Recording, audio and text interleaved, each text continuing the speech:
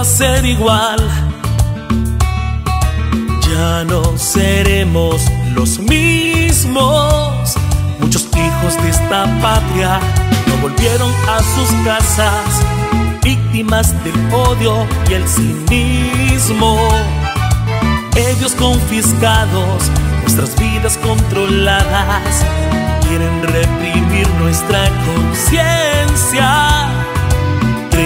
Con violencia pueden matar la razón, pero el pueblo ya decidió. Nicaragua despertó, la fuerza está en tu voz, no dejes de expresarte. Nicaragua depende de tu amor y valentía. No dejes que se escapen las cosas importantes de tu vida. Levántate y sonríe